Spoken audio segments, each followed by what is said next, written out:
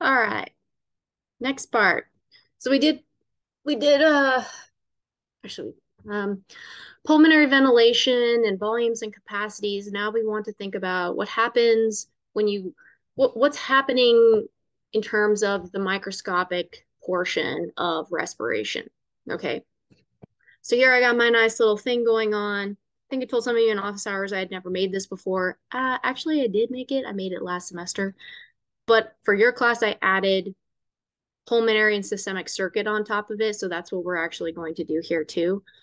So on one side, we have our alveolus. Remember, when we when we have our alveolus, air is going to come in to the alveolus, right? And air goes out of the alveolus. We have our heart here. We're just going to set up our heart so that we have, and I'm going to kind of break it, not break it, but I'm going to create a slightly different chart than what I did previously here so that you guys can see that, yes, this is the right side, this is the left side, okay? So over here on, uh, sorry, let me put a division down the middle also, just like that. So what I'm going to see is I'm going to have my pulmonary trunk leading to my pulmonary artery, just like that. When I come to the pulmonary artery, I'm going to make my pulmonary capillary. Perfect. Then my pulmonary capillary is going to become my pulmonary vein, and my pulmonary vein is going to bring blood back towards my left atrium. Whoops, sorry, I got really thin right there, but it doesn't matter. Okay. Then don't forget from the left ventricle, we're going to have the aorta. As the aorta comes off, it's going to go towards the body. That's part of our systemic circuit. And if you're like, what happened to this other part of the pulmonary trunk? Just, just make it like that. Again, we're going to have our systemic capillaries. I probably need this to be a little bit bigger, but just make this pulmonary capillary a bit wider. I just need my pulmonary capillary to maybe be a bit wider so that I can actually draw inside of it. And my and my systemic capillary so I can draw inside of it also. Right, so that my, there's my aorta coming that way. And then we're going to see that my pulmonary capillary is going to become my superior and inferior vena cava, which are going to dump over there to my right atrium. Okay, it's not pretty. This is not pretty. I did much better in office hours, but you know, bear bear with me, okay, you guys. My writing situation is not as good as all of your iPads, basically. Yeah, let me fix that just a little bit. So superior inferior vena cava are going to hook up here with our systemic capillary right there. Okay. So the first thing that we're going to want to do is we're going to want to set up the whole situation of external and internal respiration.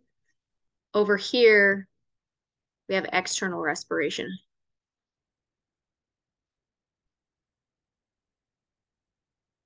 Remember, external respiration is between the alveoli and blood. And then I'm just going to move my picture here. Then we have internal respiration.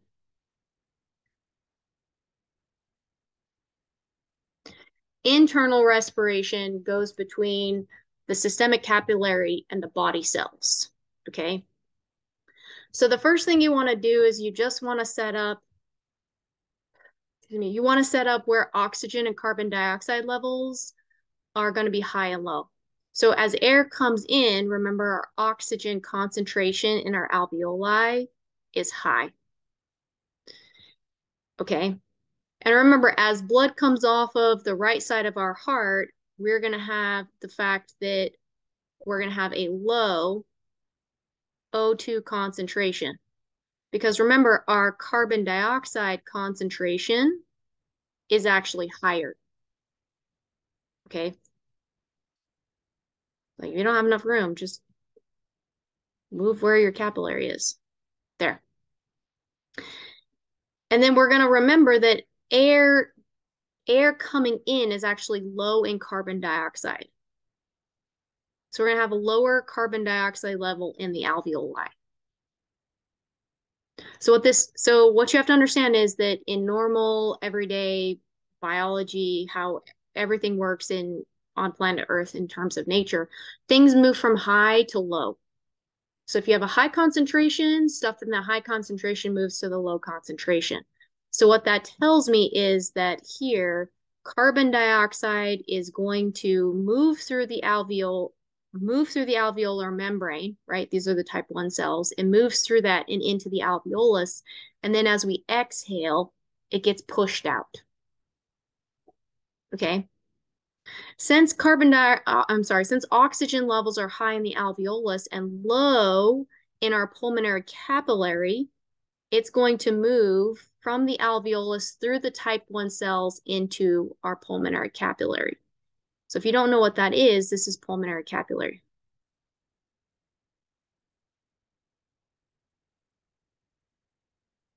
Right? You guys should go and do the transport, the pulmonary and systemic circuits. If you do not know pulmonary and systemic circuits yet, you should. You should already 100% know this. Okay. You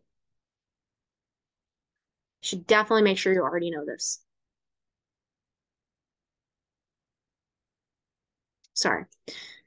So what's going to happen here is that oxygen is now going to travel on our red blood cell, right? So oxygen gets loaded into our red blood cell.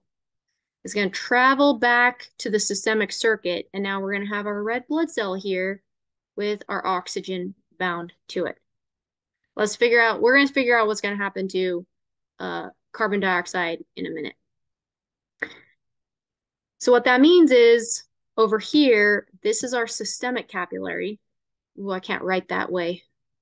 I'm just going to write it like this.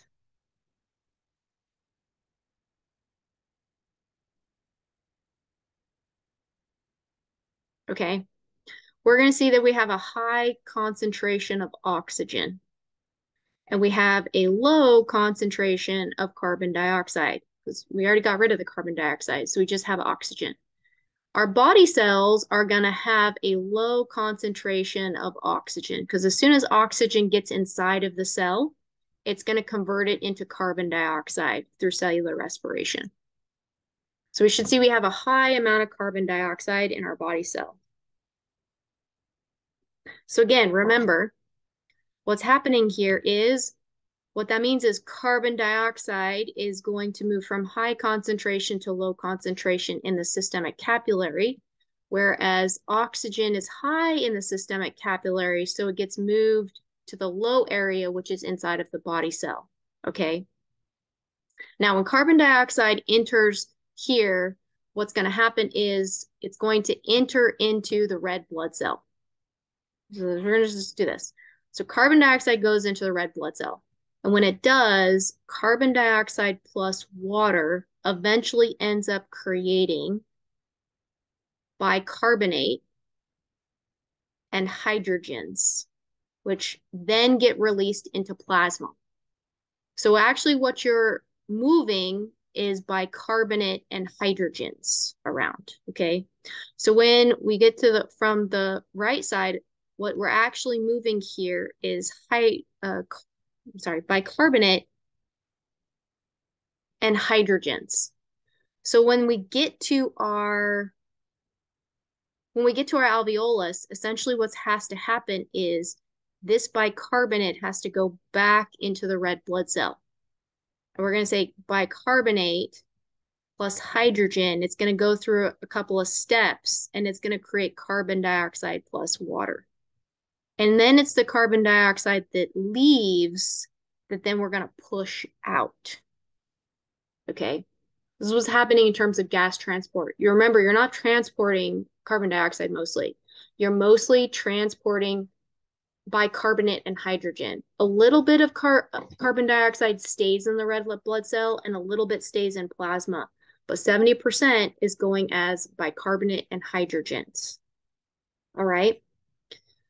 You should understand pulmonary and systemic circuit. What that means is you should be able to fully label this heart and all of these blood vessels and all of the uh, valves and everything for how blood gets transported through the heart towards the systems or the bodies and towards the lungs. I think that's opposite side, but it's okay. Because you should have already known that. We already went through this. This is the reason why you have to understand how blood flows through the heart. So you understand why carbon dioxide and oxygen are high in certain places and low in certain places for gas exchange. Not to mention when we get to urinary system, you also have to understand where is that waste coming from and why is it coming in that direction, okay?